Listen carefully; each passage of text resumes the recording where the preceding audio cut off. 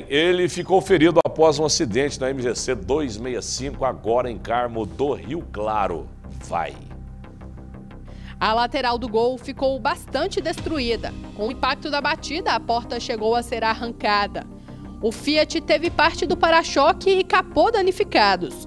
De acordo com a polícia, a batida aconteceu depois que o motorista de 57 anos do Gol diminuiu a velocidade para desviar de um cachorro, quando uma caminhonete bateu na traseira do carro, que ainda atingiu o Fiat.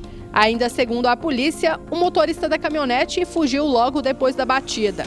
A polícia também informou que o motorista do Gol teve ferimentos leves e foi encaminhado para o pronto-socorro. Já a motorista do Fiat não se machucou. Os dois fizeram o teste do bafômetro que deu negativo. Os carros foram removidos e encaminhados para o pátio do Detran. Yasmin.